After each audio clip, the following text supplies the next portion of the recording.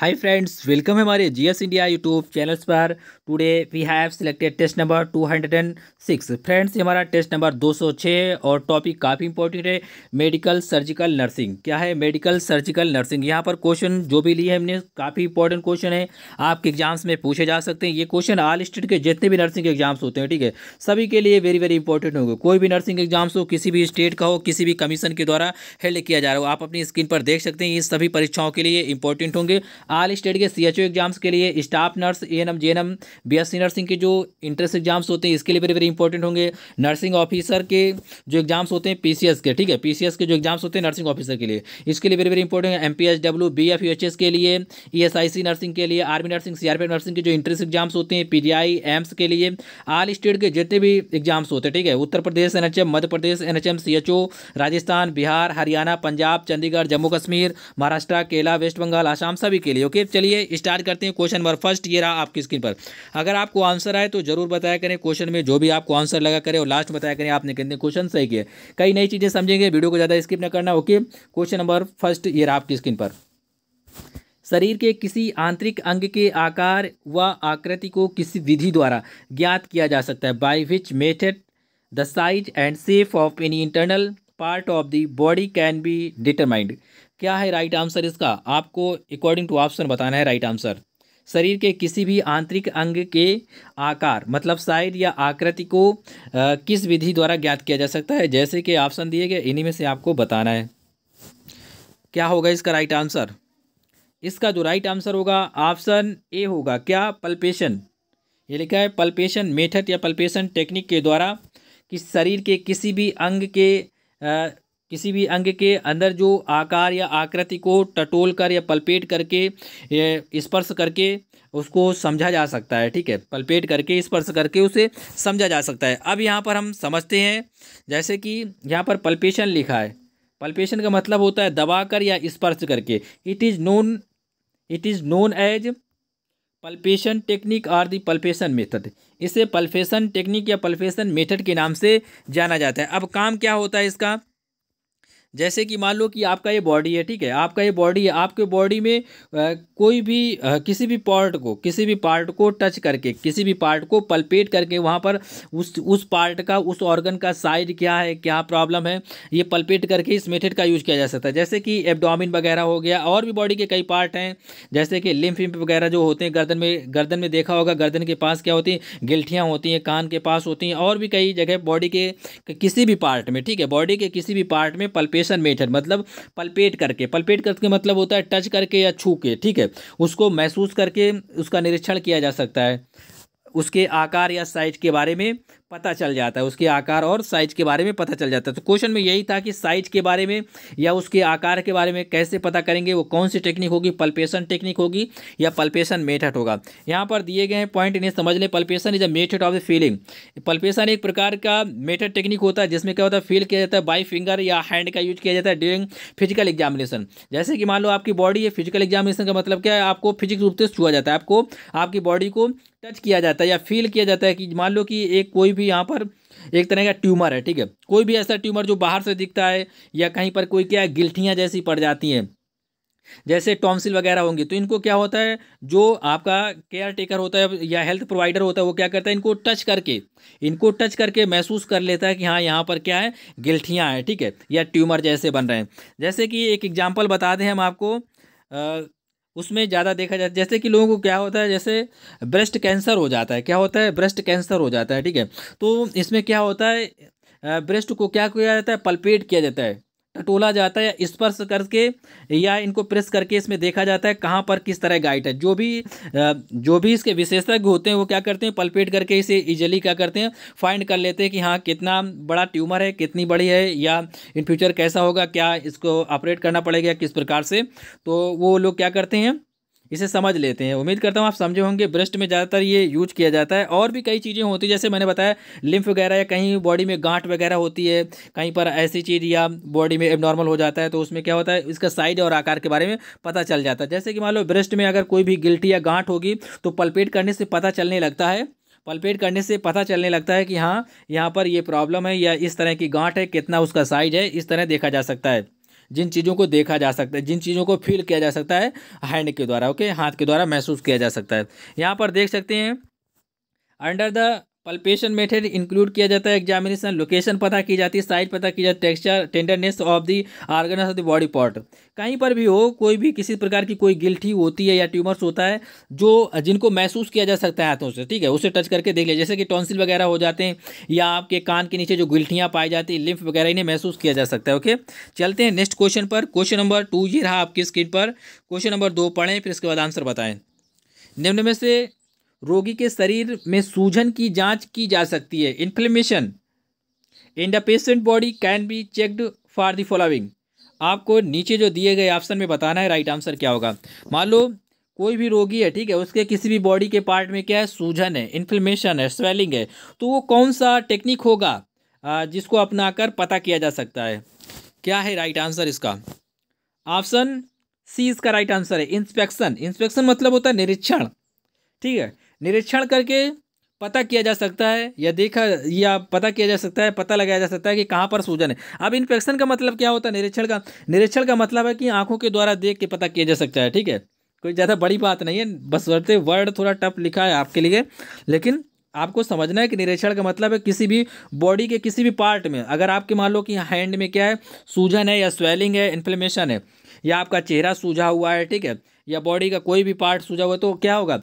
इसमें क्या होता है कि आँखों से देख के या इन्फेक्शन करके उसे पहचाना जा सकता है कि इस पार्ट में सूजन है। सूजन का मतलब क्या होता है? कहीं पर कोई भी पार्ट क्या होगा? फूला होगा। जैसे कि आपका हैंड है, यहाँ पर क्या है? स्वेलिंग है तो इसका मतलब क्या है? ये उभार टाइप होगा रेडनेस टाइप होगा स्वेलिंग होगी, ठीक है? मतलब सूझा होगा या फूला होगा, ठीक है? तो ये इंस्पेक्शन मतलब निरीक्षण करके या देख के इसे पहचाना जा सकता है। ऑप्शन सी इसका राइट आंसर था अकॉर्डिंग टू ऑप्शन ओके यहाँ पर चलते हैं। नेक्स्ट क्वेश्चन पर क्वेश्चन नंबर थ्री ये रहा आपकी स्क्रीन पर। क्वेश्चन नंबर थ्री पढ़ें, फिर उसके बाद आंसर बताएँ। हीमोग्लोबिन का मात्रक निम्न में से क्या है? Which of the following is the unit of the haemoglobin क्या है इसका राइट आंसर जो भी आपको लग रहा हो, जल्दी जल्दी बताएँ। ये एग्ज़ाम्स में क्वेश्चन पूछा जा चुका है। ऑप्शन सी इसका राइट आंसर है जीएम पर डीएल इसका मतलब ग्राम पर डेसीलीटर क्या है?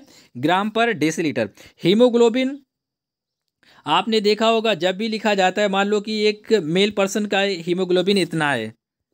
यहाँ पर लिखा है फोर्टीन फोर्टीन टू एटीन ठीक है? यहाँ पर लिखा जाता है जी आ, पर डीएल इसका मतलब होता है चौदह से अठारह के बीच में ये मेन के लिए मैं बात कर रहा हूँ मेन पर्सन के लिए ठीक है? तो ग्राम पर डेसीलीटर ये मेंशन होता है इसी को यूनिट कहा जाता है ठीक है? जानकारी के लिए आप एक बात और ध्यान रखें जो भी कोई भी मान लो कि वैल्यू दी गई कोई भी वैल्यू दी जाती है अगर उसके लास्ट में जो चीज़ मेंशन होती है आपके आपको पता चलता होगा जैसे कि मतलब कार्य का मात्रा क्या है? कार्य का अगर मात्रक ना पता हो यूनिट ना पता हो तो उसका होता है जूल क्या होता है जूल जैसे कि किसी व्यक्ति ने कितना कार्य किया तो पता चला कि टेन किया। तो टेन का मतलब क्या किया टेन टेन जूल वर्क किया। कितना किया? टेन जूल वर्क किया। तो ये जो होता है लास्ट में लिखा होता है, इसे मात्रक कहा जाता है या यूनिट कहा जाता है। इसी प्रकार से जब भी हीमोग्लोबिन मेंशन किया जाता है हीमोग्लोबिन या रिपोर्ट आप जब भी देखेंगे तो उसमें क्या होता है? ग्राम पर डेसीलीटर लिखा होगा। जी पर डीएल लिखा होगा इस तरह तो इसको यूनिट कहा जाता है, इसको मात्रक कहा जाता है, ओके?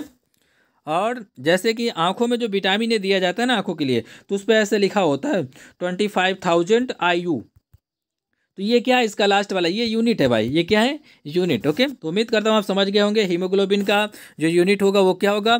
ग्राम पर डेसीलीटर एक बात और समझ लें, जैसे कि यहाँ पर हमने जी एम लिखा है तो कभी कभी क्या होता है, ग्राम के लिए इंटरनेशनली रूप से मैं बात कर रहा हूँ। ग्राम के लिए जीएम भी इस्तेमाल किया जाता है और जी भी इस्तेमाल किया जाता है। तो ये दोनों मिल सकते हैं आपको। जी जी ऑब्लिक डीएल या जी पर डेसीलीटर ठीक है? जीएम लिखा होगा या जी लिखा होगा? इसका मतलब डिफरेंट नहीं होता। ये सेम है आपस में सेम टू सेम है हंड्रेड परसेंट ओके अब यहाँ पर देख सकते हैं, वही पॉइंट मेंशन किए गए हैं। ये नेक्स्ट यहाँ पर यूनिट लिखा है, ये लिखा है मिली मोल पर लीटर ठीक है? एम एम ये लिखा है M M O L per litre ये ये दोनों तो एकदम एक जैसे हैं सेम है। जीएम का मतलब जी होता है, कहीं कहीं ग्राम लिखा जाता है जीएम के लिए, ग्राम के लिए जीएम लिखा जाता है, कहीं कहीं जी लिखा जाता है ओके और ये दोनों दोनों क्या है? मान्य है। इंटरनेशनल रूप से दोनों दोनों मान्य है ओके अब यहाँ पर नेक्स्ट लिखा है दूसरा। बात वही है, लेकिन क्या है? यूनिट चेंज किया गया है। जैसे कि एक होता है एम एक होता है एसआई यूनिट एक होता है एम यूनिट एक होता है एसआई यूनिट अगर फिजिक्स पढ़ा होगा आपने तो समझते होंगे। तो उसी हिसाब से समझ लें आप। ये बात एक ही ये दूसरा है लेकिन क्या है ये भी क्या है उसका यूनिट है। किसका? हीमोग्लोबिन का ओके चलते हैं नेक्स्ट क्वेश्चन पर। नेक्स्ट क्वेश्चन ये आपकी स्क्रीन पर क्वेश्चन नंबर फोर पढ़ें फिर आंसर बताएँ। रोगी में फ्रैक्चर की स्थिति ज्ञात करने हेतु तो किया जाता है।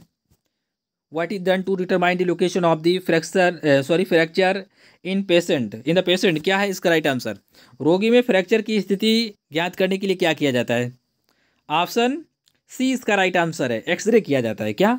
एक्सरे किया जाता है। आपको पता होगा कि जब भी कभी हाथ पैर टूट जाते हैं या कहीं पर भी आ, कोई भी फ्रैक्चर हो जाता है बोन फ्रैक्चर हो जाता है तो उसमें क्या किया जाता है आप जानते हैं ज़ाहिर सी बात है एक्सरे किया जाता है लेकिन एक पॉइंट मैं बता रहा हूँ उससे आप समझे।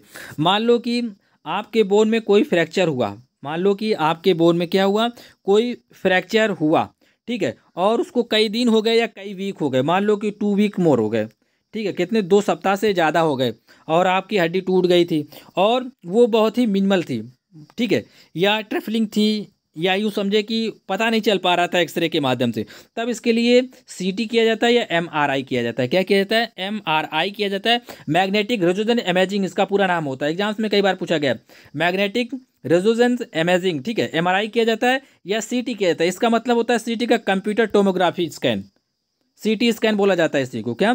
कंप्यूटर टोमोग्राफी स्कैन जब भी एक्सरे सॉरी एक्सरे से पता नहीं चलता। एक्सरे से बहुत से पार्ट होते हैं बॉडी के, जहाँ पर क्या होता है एक्सरा काम नहीं करता। या मान लो कि जैसे कि फ्रैक्चर हुआ था आज, इस संडे को, और तुम चेक करा रहे हो अगले मंडे को, ठीक है? तो इस स्थिति में हो सकता है फ्रैक्चर ना दिखे, क्योंकि वहाँ पर हो सकता है ब्लड क्लॉट हो गया होगा। ब्लड क्लोट हो गया होगा या थोड़ा बहुत जुड़ भी गया होगा तो इस स्थिति में क्या होगा सही से पता नहीं चल पाता। तो ऐसी स्थिति में क्या किया जाता है? एमआरआई किया जाता है। अब क्वेश्चन कैसे बन सकता है एग्ज़ाम्स में? मान लो कि क्वेश्चन ऐसे बनेगा एग्ज़ाम्स में कि मान लो कि किसी भी व्यक्ति का हाथ या पैर बहुत दिन हो गए मतलब एक ये वीक से ज़्यादा हो गया दो वीक से ज़्यादा हो गए या दो वीक्स हो गए तो ऐसी स्थिति में निम्न में से उसके फ्रैक्चर का पता करने के लिए आ, किस चीज़ का उपयोग किया जाएगा? तो आप बताएँगे एमआरआई का यूज़ किया जाएगा। किस चीज़ का? एमआरआई का। या ऑप्शन में आपको सीटी मिलेगा। सीटी का मतलब सीटी स्कैन सीटी स्कैन का मतलब कंप्यूटर टोमोग्राफी स्कैन उम्मीद करता हूँ आप समझ गए होंगे। अब चलते हैं नेक्स्ट क्वेश्चन पर। नेक्स्ट क्वेश्चन ये रहा आपकी स्क्रीन पर। क्वेश्चन नंबर फाइव पढ़ें, फिर आंसर बताएँ। गर्भावस्था को ज्ञात करने हेतु जाँच की जाती है। What is the test done to detect pregnancy क्या है इसका राइट आंसर जो भी आपको महसूस हो रहा है, लग रहा है, बता सकते हैं। ऑप्शन डी इसका राइट आंसर है। ऑप्शन डी सोनोग्राफी किया जाता है या बाई यूरिन के माध्यम से पता किया जाता है गर्भावस्था को ठीक है? प्रेगनेंसी को डिटेक्ट किया जा सकता है पता किया जाता सकता है दोनों आ, दोनों के माध्यम से पता किया जा सकता है। प्रेगनेंसी के बारे में तो मैंने कई बार बताया भी आपको कौन कौन से चीज़ें होती जिनको देखा जाता है ये हारमोन्स होता है एच हारमोन्स होता है इसको डिटेक्ट किया जाता है। ये एच सी जी हारमोन्स होता है, इसको डिटेक्ट किया जाता है आपके यूरिन में तो पता चल जाता है पॉजिटिव है निगेटिव आप प्रेग्नेंट है या नॉन प्रेग्नेंट है ओके अब सोनोग्राफी टेस्ट के बारे में बात करते हैं। मान लो कि एक वीक या टू वीक या थ्री वीक ऐसा कुछ टाइमिंग हो गया, ठीक है? तो सोनोग्राफी टेस्ट के माध्यम से इस चीज़ का इमेज बन जाता है, ठीक है? इस चीज़ का इमेज बन जाता है, इस इमेज के माध्यम से उससे पहचान लिया जाता है कि वो प्रेग्नेंट है नॉन प्रेग्नेंट है, ठीक है? सोनोग्राफी हो सकता है, ना जानते हो तो अब बता दे, इसका दूसरा नाम क्या होता है? अल्ट्रासाउंड होता है। क्या होता है? अल्ट्रासाउंड ये आपको पता होगा, कई बार करवाया भी होगा कुछ महिलाओं ने, ठीक है? तो इसे अल्ट्रासाउंड के नाम से भी जाना जाता है। सोमोग्रा sonography also known as ultrasound okay उम्मीद करते हैं समझे होंगे आप, यहाँ पर देख सकते हैं सोनोग्राफी को अल्ट्रासाउंड के नाम से जाना जाता है। लेकिन हो सकता है कभी कभी टर्म्स क्या होते हैं, थोड़े से डिफ़िकल्ट लिखे जाते हैं ओके अल्ट्रासाउंड जनरली लोग जानते हैं, लेकिन सोनोग्राफी क्या होता है, थोड़ा बहुत इधर उधर घुमा के लिख दिया जाता है। तो सोनोग्राफी को अल्ट्रासाउंड कहते हैं या अल्ट्रासाउंड को ही सोनोग्राफी कहते हैं, ये सेम होते हैं ओके नेक्स्ट क्वेश्चन है आपकी स्क्रीन पर। क्वेश्चन नंबर सिक्स पढ़ें, फिर आंसर बताएँ क्या होगा इसका राइट आंसर निम्न में से पोषण संबंधी कारणों से उत्पन्न रोग कौन सा है? Which of the following is a disease caused by nutritional reasons क्या है इसका राइट आंसर आपको बताना है पोषण संबंधित। ठीक है, पोषण से होने वाला रोग कौन सा है? यहाँ पर ये बात बतानी है। ठीक है, पोषण अगर नहीं पता होगा तो हम बताएँगे अभी, पहले आंसर बताएँ आप। ऑप्शन डी इसका राइट आंसर है एनीमिया हो जाता है। क्या? इनीमिया हो जाता है इनीमिया ओके एनीमिया में क्या होता है? ब्लड की कमी हो जाती है या यूँ समझे कि ब्लड में आरबीसी की कमी हो जाती है ब्लड भी कम हो जाता है आरबीसी की कमी हो जाती है दोनों कमी होती हैं, ठीक है? अब पहले बात करते हैं न्यूट्रिशन क्या होता है या पोषण क्या होता है? देखिए, हम बताते हैं, पोषण वो सारी चीज़ें हैं जिनको आप खाते हैं या आप मान लो नहीं खाते हैं, ठीक है? और उनकी वजह से, उनकी कमी की वजह से आपकी बॉडी में कोई डिसीज हो जाती है। उसको पोषण कहा जाता है। एग्ज़ाम्पल के तौर पर समझे, आप विटामिन ए नहीं लेते, आपको नाइट ब्लाइंडनेस हो जाती है। क्या हो जाती है? नाइट ब्लाइंडनेस तो विटामिन ए एक तरह का क्या है? पोषण है या न्यूट्रिशन के रूप में आप इसे समझ सकते हैं, ठीक है? अब मान लो कि आयोडीन आयोडीन की कमी से क्या डिसीज हो जाती है? ग्वाइटर हो जाता है, ठीक है? आयोडीन की कमी से क्या होता है? ग्वाइटर हो जाता है। ये एक प्रकार का मिनरल्स है या न्यूट्रिशन के अंतर्गत आएगा। न्यूट्रिशन के अंतर्गत आएगा। तो आपको ग्वाइटर हो गया, इसका मतलब आपने आयोडीन पर्याप्त मात्रा में नहीं ली, ठीक है? जैसे कि यहाँ पर इनीमिया मेंशन है। इनीमिया किस कौन कौन सी चीज़, जैसे कि आप फॉलिक एसिड नहीं लेते, क्या नहीं लेते? विटामिन बी नहीं लेते फॉलिक एसिड नहीं लेते पायरिन vitamin B six pyridoxine कहा जाता है इसी को, ओके?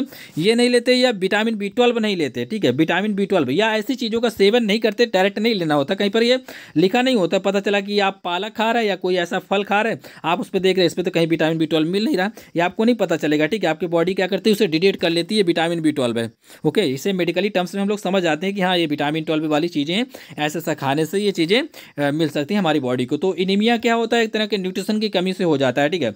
तो इसमें क्या होता है आरबीसी की कमी हो जाती है। बी ट्वेल्व काफ़ी अहम रोल प्ले अहम रोल सॉरी अहम रोल प्ले करता है increasing the RBC in your body okay in your blood आपके बॉडी में आरबीसी बढ़ाने के लिए बी ट्वेल्व बहुत अहम रोल प्ले करता है। ये करता है और एक होता है बी नाइन ठीक है, इसी को फॉलिक एसिड कहा जाता है। तो आपको ये ये सॉरी न्यूट्रिशन की वजह से हो जाता है ओके गर्मी आज बहुत है, जवान लड़का आ रही है मेरी okay sorry for it next question है क्वेश्चन नंबर आपकी स्क्रीन पर सेवन रोगी के जीवन शैली की जानकारी एकत्रित की जाती है। The patient lifestyle information is collective form क्या है इसका राइट आंसर पढ़ लें क्वेश्चन को आप अच्छे से, क्योंकि थोड़ा मैं फास्ट पढ़ता हूँ, आप इसे थोड़ा सावधानी के साथ पढ़ लें। मैं इसलिए फास्ट पढ़ता हूँ ताकि आपका टाइम ना वेस्ट हो ओके क्वेश्चन आप समझ लें। क्या होगा राइट आंसर इसका? रोगी के जीवन की शैली, जान जीवन शैली एकत्रित की जाएगी। कौन सी जानकारी के माध्यम से? ऑप्शन बीस का राइट आंसर होगा, सामाजिक सूचनाओं के माध्यम सोशल इन्फॉर्मेशन के माध्यम से। अब हम इसको आपको थोड़ा समझा देते हैं, कैसे? रोगी के जीवन जीवन की शैली जानकारी एकत्रित की जाए, जानकारी एकत्रित की जाए। मान लो कोई पेशेंट है, ठीक है? मान लो कि कोई पेशेंट है, ये पप्पू है पेशेंट ठीक है? पप्पू नाम है इसका पेशेंट का। अब इसके बारे में कैसे जानकारी प्राप्त की जाए? बाकी दिए गए ऑप्शन गलत हैं। अब बात करते हैं, या तो उनके फैमिली से बात की जाएगी, या तो उनके मोहल्ले में बात की जाएगी। ये सोशल इन्फॉर्मेशन के अंतर्गत आएँगे। किसके अंतर्गत आएँगे? उनका अगर इतिहास उठा के देखा जाए, मान लो कि उनके पप्पू के पापा का पप्पू के जो दादा थे, हिस्ट्री अगर बात करें, उनका नाम था गजोधर, ठीक है? उनको पता चला कि ऐसी बीमारी कोई है, थी ही नहीं जो पप्पू को है। ऐसी बीमारी कोई थी ही नहीं जो पप्पू को है। तो इसका मतलब मोहल्ले में पता किया जाएगा उनके। मोहल्ले का मतलब उनके समाज में देखा जाएगा या उनके सोशल इन्वायरमेंट के आसपास जो भी लोग होंगे, जैसे सामाजिक सूचनाओं के माध्यम से। मान लो कि पप्पू के घर में उनके चाचा भी रहते हैं अगल बगल और भी मोहल्ले के कई लोग रहते तो अब उनके, इन पप्पू के बारे में अध्ययन ऐसा किया जाएगा सोशल इन्फॉर्मेशन ऐसी हो जाएगी। तो पप्पू के बारे में ये जानकारी ली जाएगी पप्पू कब हंसता था, पप्पू के, पप्पू कब खेलता था, या किस प्रकार की एक्टिविटी करता था, कभी उदास रहता था, या कभी ऐसी मतलब कि जैसे कि सिजोफ्रेनिया के ऐसे लक्षण थे, या कभी भूखी नहीं था, कभी कभी मतलब सुसाइड करने की ओर जाता था, अग्रसर होता था। तो ये रोगी के जीवन शैली के बारे में इस तरह सोशल सोशल इन्फॉर्मेशन होगी ये, ठीक है? सोशल इन्फॉर्मेशन होगी, आपको पता हो गया कि मतलब मोहल्ले से तहकीकात कर ली जाएगी, जानकारी ले ली जाएगी कि इसकी एक्टिविटी कैसी थी इस पर्सन की। मतलब पप्पू की एक्टिविटी कैसी थी, किस तरह का बिहेव करता था, घर में लड़ता झगड़ता था या खाना पीना खाता था, नहीं खाता था, रोता गाता था क्या क्या करता था, ठीक है? ये सारी जानकारी उसके जो सोशल इन्फॉर्मेशन है उसके द्वारा मतलब जो सामाजिक तत्व हैं उनसे एकत्र की जाएगी, ये जानकारी। ऑप्शन भी इसका राइट आंसर था। उम्मीद करता हूँ समझ गए होंगे। नेक्स्ट क्वेश्चन ये रहा आपकी स्क्रीन पर। क्वेश्चन नंबर एट पढ़ें, फिर आंसर बताएँ। काफ़ी सिंपल क्वेश्चन है। हेपेटाइटिस रोग किसके संक्रमण से उत्पन्न होता है? Hepatitis disease caused by infection of. क्या है राइट आंसर इसका? ऑप्शन सी इसका राइट आंसर है। वायरस की वजह से। किसकी वजह से? वायरस की वजह से होता है, ठीक है। ये डीएनए वायरस होता है। वायरस को भी डिफाइन किया गया है। RNA virus, RNA and DNA और जो हेपेटाइटिस होता है ना, ये डीएनए वायरस की वजह से होता है। किसकी वजह से? डीएनए वायरस की वजह से। तो हेपेटाइटिस रोग जो होता है, वो वायरस की वजह से होता है, विषाणु की वजह से होता है। ऑप्शन से इसका राइट आंसर है। पिछले वीडियो देख लें ज़्यादा डिटेल्स के लिए। कई बार बताया भी मैंने टाइप्स भी। नेक्स्ट क्वेश्चन ये रहा आपकी स्क्रीन पर। क्वेश्चन नंबर नाइन मास्क के समान चेहरा फेस फेस लाइक मास्क या मास्क लाइक फेसी किस रोग के विशेष लक्षण हैं? फेस लाइक अ मास्क या मास्क फेस कहा जाता है इसी को, ठीक है? Is I special symptoms of which disease अब आप ऑप्शन देखें, फिर इसके बाद आंसर डिसाइड करें, जो भी आपको आंसर लग रहा हो। काफ़ी अच्छा क्वेश्चन है ये। देख लिए आपने ऑप्शन अब आंसर अगर आ रहा हो तो आप बता सकते हैं, जो भी आपको आंसर लग रहा हो। प्रैक्टिस कर लिया करें, अगर मौका मिलता है।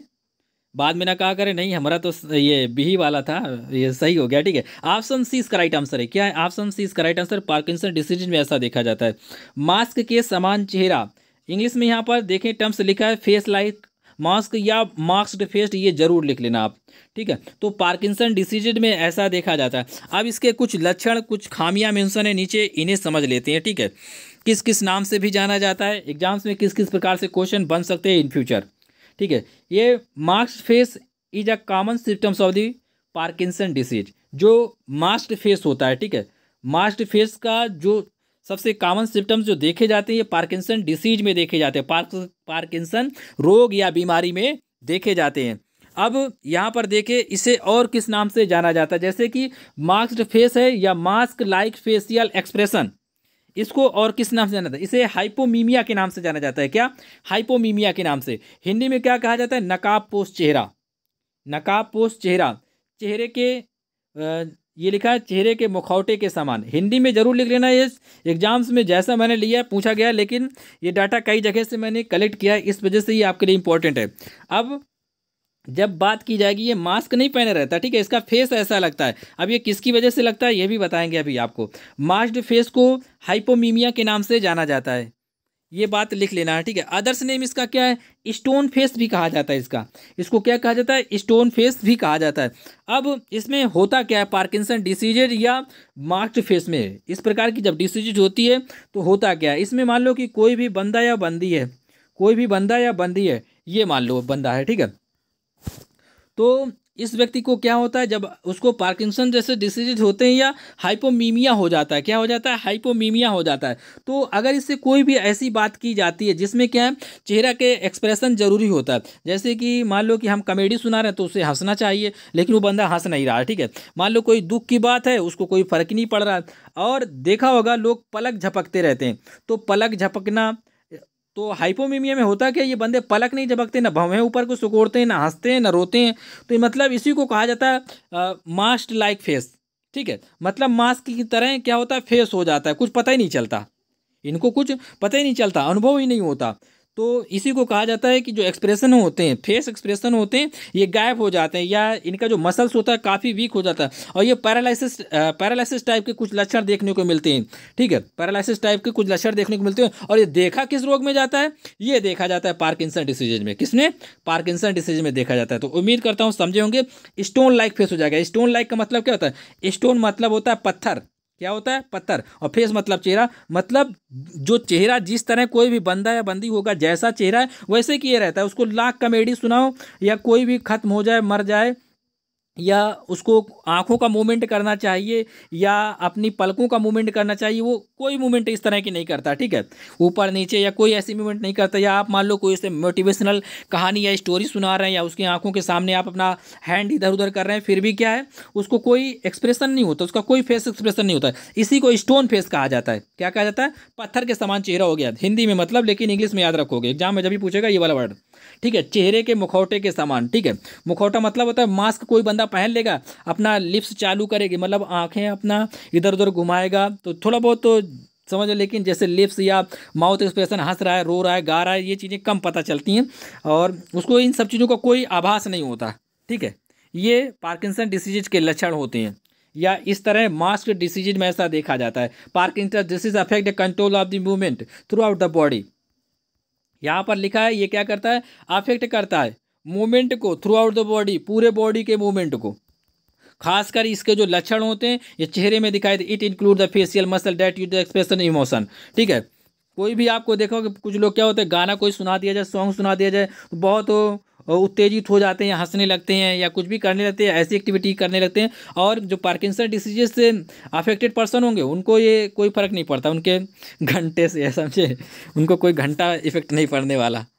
यहाँ पर देख सकते हैं it can be caused by the motor impairment paralysis weakness of the facial इसका मतलब ये होता है कि जैसे कि मोटर्स होते हैं वो इम्पेयर हो जाते हैं मतलब बेकार हो जाते हैं जैसे कि पैरालिसिस मार गया या वीकनेस हो गई, उनके जो मसल्स होते हैं फेस के मसल्स होते हैं, लगभग फोर्टी के आसपास जो फेस में मसल्स पाए जाते हैं, जो गतिविधि के लिए ज़रूरी होते हैं मोमेंट के लिए ज़रूर होते हैं, या फेसियल एक्सप्रेशन के लिए ज़रूरी होते हैं, या इमोशन शो करने के लिए ज़रूरी होते हैं तो ये क्या करते हैं, कोई भी एक्सप्रेशन ऐसे नहीं करते।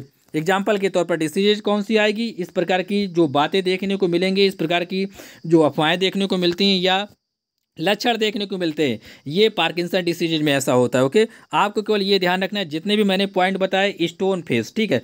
मास्क लाइक फेंस कैसा? मास्क लाइक फेंस ये जो पॉइंट मैंने बताया ये आपको ध्यान रखना है, ये पार्किंसन डिसीज में मेंशन होते हैं या पार्किंसन डिसीज से इसका रिलेशन होता है।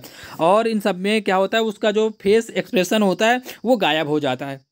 गायब का मतलब उसको कोई फ़र्क नहीं पड़ता, घंटा इफ़ेक्ट नहीं पड़ता। क्वेश्चन नंबर आप टेन पढ़ें, फिर इसके बाद आंसर बताएँ। रोग होने का प्रमुख कारक क्या है? What is the main causes of the disease जो भी आपको आंसर लग रहा हो, बता सकते हैं। ऑप्शन डी इसका राइट आंसर है क्या? Option D is the right answer ये सभी रोग होने का जो प्रमुख कारक है, मानसिक कारण भी हो सकते हैं मेंटल फैक्टर्स शारीरिक कारण मतलब फिजी फिजियोलॉजिकल फैक्टर वातावरणीय कारक इन्वायरमेंटल फैक्टर्स आप समझ लें इनको थोड़ा बहुत।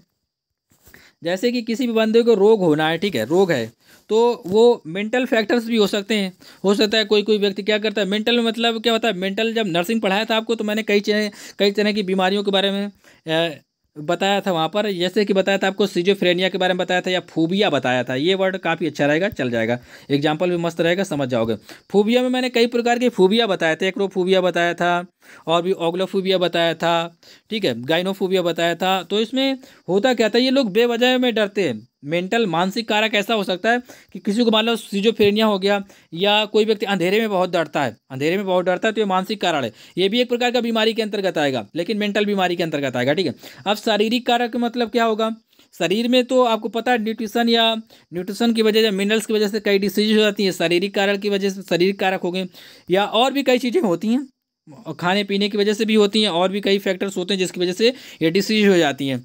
ठीक है? नेक्स्ट है यहाँ पर वातावरणीय कारक थोड़ा थोड़ा समझ लेते हैं। वातावरणीय कारक का मतलब ये होगा, आपको कोई ऐसी बीमारी है जिससे आपको धूप में जाने में बड़ी प्रॉब्लम है। ठीक है ये? या आपकी बॉडी में क्या होते हैं? रेसेज आ जाते हैं। या आपको खुजली बहुत महसूस होती है धूप में जाने में तो ये आप समझ सकते हैं इंटर ये इन्वायरमेंटल फैक्टर हो सकते हैं। कैसे इन्वायरमेंटल फैक्टर या आपको हवा नहीं पसंद, या आपको ज़्यादा धूप नहीं पसंद, या आपको ज़्यादा गर्मी नहीं पसंद, ठीक है, ये इन्वायरमेंटल फैक्टर हो सकते हैं। या आपके यहाँ मान लो कि पेड़ पौधे ज़्यादा अच्छे नहीं है पेड़ पौधे नहीं तो ऑक्सीजन ज़्यादा अच्छी उपलब्ध नहीं है, और भी कई कारण हो सकते हैं मतलब आपके वातावरण से रिलेटेड होंगे ये सारे ओके आपके वातावरण पे, आपके इन्वायरमेंट से ये रिलेटेड होंगे। उम्मीद करता हूँ आप समझे होंगे। इसी प्रकार से ये ऑप्शन डी इसका राइट आंसर होगा। ये रोग के प्रमुख कारण हो सकते हैं। ओके नेक्स्ट है क्वेश्चन नंबर आपकी स्क्रीन पर। क्वेश्चन नंबर ट्वेल्व ये पिछले वीडियो का क्वेश्चन है। मोस्टली लोगों ने सही आंसर दिए थे, जिनका गलत है वो देखें। आपातकालीन व्यवस्था में रोगियों का प्राथमिकता के आधार पर प्रबंधन को क्या कहा जाता है? What is the priority management of the patient in an emergency system called क्या है इसका राइट आंसर ऑप्शन सी इसका राइट आंसर है। ट्रियाज कहा जाता है। क्या? ट्रिएज कहा जाता है। देखिए, हिंदी वाले जो लोग हिंदी मीडियम से हैं कभी कभी ये क्या होता है, इस तरह लिखा जाता है। तो घबराना नहीं ट्री एज ये स्पेलिंग ज़रूर देख लेना। आपातकालीन व्यवस्था में रोगियों का प्राथमिकता के आधार पर प्रबंधन किया जाता है। इसमें कलर देखे जाते हैं, ठीक है? इसमें तीन कलर होते हैं, उसी प्रबंधन के हिसाब से इनका क्या होता है ट्रीटमेंट के लिए इन्हें रेफ़र किया जाता है, ठीक है? और यहाँ पर जो पॉइंट मिशन आपातकालीन व्यवस्था में रोगियों का प्राथमिकता के आधार पर प्रबंधन को क्या कहा जाता है? मैनेजमेंट को क्या कहता है? ट्रिएज कहा जाता है। ये एक टर्म से याद कर लें, इतना ही ठीक है। काफ़ी बड़ा टॉपिक है, इतना समझ लें ट्रिएज कहा जाता है। पिछले वीडियो में बताया था थोड़ा बहुत, इसके बारे में नेक्स्ट क्वेश्चन ये आपके लिए मैंने रखा हुआ है। ओके क्वेश्चन नंबर टेन जैसा है, उस तरह याद कर लेना, क्योंकि क्वेश्चन ज़्यादातर वही पूछा जाता है। दो तीन तीन कलर का इस्तेमाल किया जाता है। उसमें पेशेंट कितना गंभीर है कितने कितने परसेंट गंभीर है, ठीक है? उसी परसेंटेज के हिसाब से उसे रेफर किया जाता है और कलर कोडिंग दी जाती है। ओके उम्मीद करता हूँ समझ गए होंगे। क्वेश्चन नंबर इलेवन पढ़ें, फिर आंसर बताएँ। निम्न में से लीवर सिरोसिस का मुख्य कारण क्या है? Which of the following is the main causes of liver cirrhosis ये पब्लिक सर्विस कमीशन लोक सेवा आयोग जिसे कहा जाता है, ठीक है? उसमें ये क्वेश्चन पूछा जा चुका है। अब ये आपकी नर्सिंग के लिए वेरी वेरी इंपॉर्टेंट है, क्योंकि नर्सिंग में भी एक बार पूछा जा चुका है क्वेश्चन ठीक है इन फ्यूचर कभी भी पूछा जा सकता है, क्या होगा इसका राइट आंसर आपको बताना है, ठीक है? कमेंट बॉक्स में ज़रूर इसका आंसर बताएँ, जो भी आपको लग रहा हो। पिछले वीडियो मैंने इसे कवर किया था। पिछले कई वीडियो में मतलब एक आध वीडियो मैंने इस क्वेश्चन को कवर कर चुका हूँ मैं। ये लेकिन फिर बार आपके लिए क्वेश्चन है और काफ़ी अच्छा क्वेश्चन है। तो इसे ज़रूर आप बताएँगे और डिटेल के साथ मेंशन करेंगे okay thanks for watching friend और हाँ वीडियो कैसे लगा चैनल पर नए सब्सक्राइब करना लाइक करना, हो सके तो अपने दोस्तों के साथ शेयर करना। Thanks for watching friend thank you bye take cares और जो लोग जी के जी एस या पेट एग्ज़ाम्स की तैयारी करना चाहते हैं, ठीक है पेट एग्ज़ाम्स की तैयारी करना चाहते हैं जीके जीएस पढ़ना चाहते हैं रीजनिंग पढ़ना चाहते हैं, ठीक है? कोई भी टॉपिक पढ़ना चाहते हैं नर्सिंग के अलावा तो हमारे दूसरे चैनल को सब्सक्राइब कर लेना।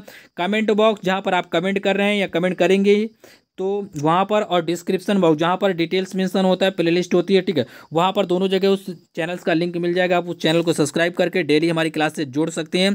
पेट एग्ज़ाम्स के लिए या करंट अफेयर जी के रीजनिंग पढ़ने के लिए, ठीक है? उम्मीद करता हूँ समझ गए होंगे। चलते हैं, मिलेंगे नेक्स्ट वीडियो में। Thanks for watching thank you bye bye take cares